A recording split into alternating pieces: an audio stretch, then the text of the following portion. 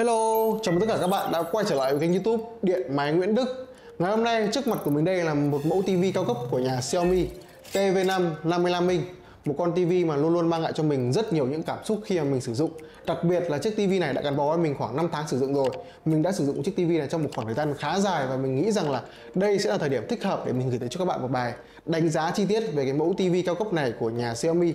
Đấy, và ngay bây giờ chúng ta hãy cùng vào với chủ đề là đánh giá TV TV5 55 inch sau 5 tháng sử dụng nhá.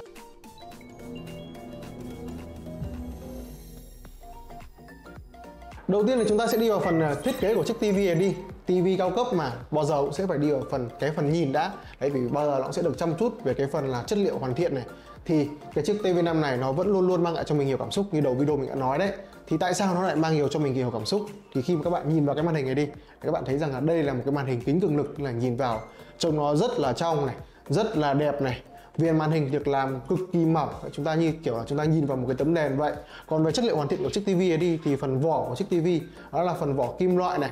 Chân đế kim loại. Đấy, thiết kế toàn là kính này rồi là kim loại này rất là sang trọng. Những ai mà có nhu cầu mua về một cái chiếc TV không chỉ để hiển thị đẹp nữa mà còn phải có thiết kế rất là đẹp để trang trí trong những không gian của chúng ta như là phòng khách này.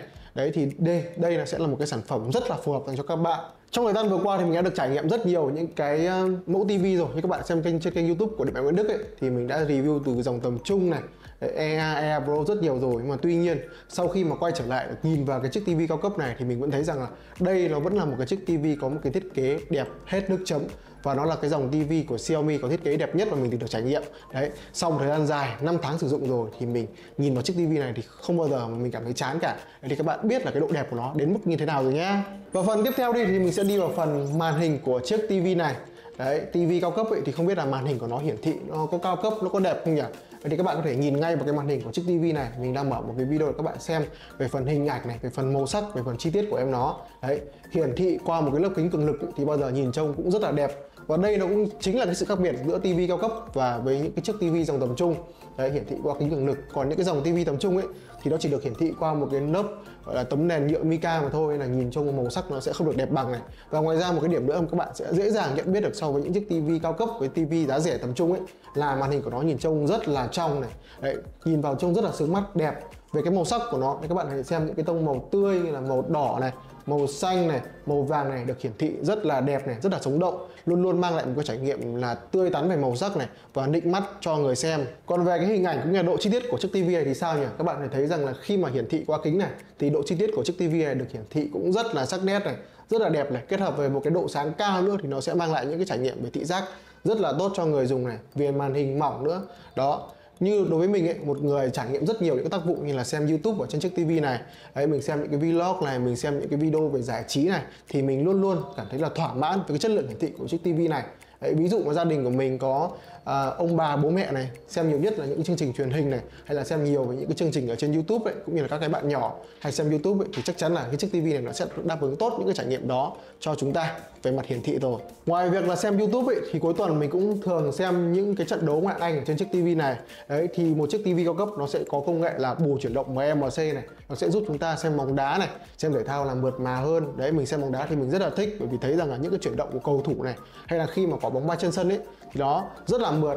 Và đặc biệt hơn là khi vào, sắp vào mùa hè rồi, đấy, thì có rất nhiều những cái trận đấu bóng đá đỉnh cao được diễn ra này, những cái giải đấu như là Euro này, hay là Olympic này, hay là những cái vòng loại về World Cup xem Việt Nam đá, thì chiếc TV này nó sẽ phục vụ rất là tốt những cái nhu cầu chúng ta xem bóng đá và xem thể thao ở trên cái màn hình của chiếc TV này nhá. Ok, và sau khi nói xong về phần chất lượng hiển thị của chiếc TV này, thì bây giờ mình sẽ đi vào cái phần kích thước một chút đi. Thì đây là một chiếc TV 55 inch. Thì nhiều bạn có hỏi rằng là không biết là TV 55 inch thì nó sẽ phù hợp với phòng khách không? Thì đây, như cái trải nghiệm thực tế của mình là nhà mình, gia đình mình có sử dụng một chiếc tivi 55 inch ấy, thì khi mà đặt vào phòng khách, nó rất là phù hợp với những căn phòng khoảng là 25 30 mét vuông và thậm chí là có thể là hơn một chút.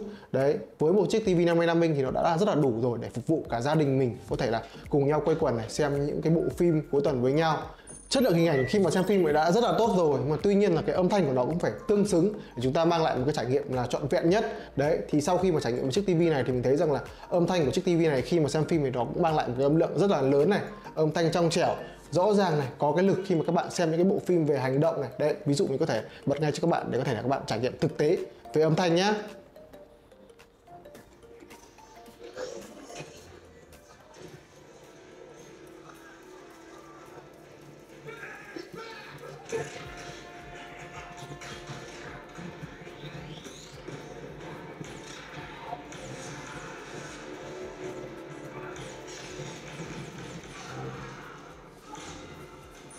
Về giao diện hệ điều hành cũng như là về cấu hình của chiếc TV này thì trong cái quá trình trải nghiệm của mình thì mình sẽ thấy thế nào nhỉ?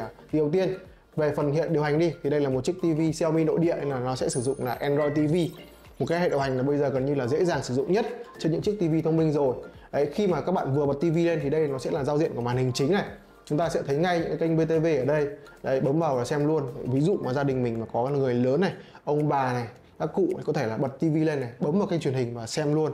Rất là nhanh gọn đơn giản này. Chăm lo cho người cao tuổi cũng là để và ngoài ra bên dưới đây thì nó hiển thị những cái ứng dụng cơ bản có sẵn rồi. Đấy như là ứng dụng về YouTube này một ứng dụng hết sức quen thuộc này VTV Go này. Đấy và ngoài ra các bạn muốn xem nhiều kênh truyền hình hơn này thì đây chúng ta sẽ có những ứng dụng. Đấy để hiển thị là 300 kênh truyền hình miễn phí. Rất là nhiều này. Từ VTV, VTC, VTC Cap này. Và ngoài ra cũng có những kênh truyền hình nước ngoài này bên dưới cùng là một cái rất là hay. Chúng ta có thể là xem những cái trận đấu bóng đá. Đấy thường thì mình sẽ mở máy tính lên để chúng ta có thể là xem những cái trang web để xem miễn phí ấy. nhưng mà đây cái phần này Master TV đã tích hợp tất cả những cái trận đấu miễn phí rồi. Chúng ta không cần phải mất công để tìm kiếm nữa và chỉ cần bấm vào ứng dụng này là có thể là xem được luôn rất nhiều những trận đấu. Về phần cấu hình thì do đây là một chiếc TV cao cấp nên là Xiaomi cũng sẽ trang bị một cấu hình rất là cao cũng như là mạnh mẽ. Đấy, con chip nói tứ này, cấu hình thì chúng ta sẽ có là 3 GB RAM cùng với đó là 32 GB RAM thì đây là một cấu hình rất là thoải mái để các bạn sử dụng về lâu về dài nó vẫn rất là mượt mà. Để ví dụ nhé, mình có thể là sử dụng giọng nói này các bạn xem tốc độ phản hồi của nó xem như thế nào. Mở video 4K. Đấy, bấm pháp là ăn luôn gần như là không có cái độ trễ này.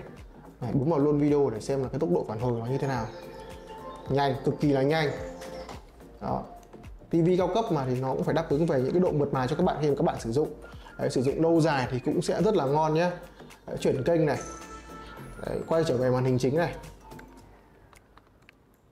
Mở ứng dụng này. Đấy, mọi trải nghiệm đều là rất là mượt mà và trơn tru. Và tổng kết lại thì đó là phần đánh giá chi tiết của mình về cái mẫu TV cao cấp hàng nội địa của nhà Xiaomi đó là Xiaomi TV5 55 inch này. Một chiếc TV mà mang lại cho người dùng rất nhiều những cái thứ là từ một cái thiết kế đẹp này, màn hình hiển thị chất lượng này, âm thanh sống động và ngoài ra cấu hình thì cũng rất là cao mượt mà để các bạn có thể là sử dụng về lâu, về dài thoải mái. Đó và cái mức giá trong một cái chiếc TV cao cấp 55 inch này thì bây giờ cũng rất là ưu đãi rồi, chỉ có khoảng là 10 triệu đồng thôi. TV 55 inch cao cấp quá là ngon. Và nếu các bạn muốn tham khảo cũng như là muốn mua hàng ấy, thì mình có thể để link của sản phẩm bên dưới ở phần mô tả để các bạn có thể là bấm vào để mua hàng cũng như là để tham khảo nhé. Còn à, bây giờ thì xin chào và hẹn gặp lại các bạn trong những video tiếp theo. Bye bye.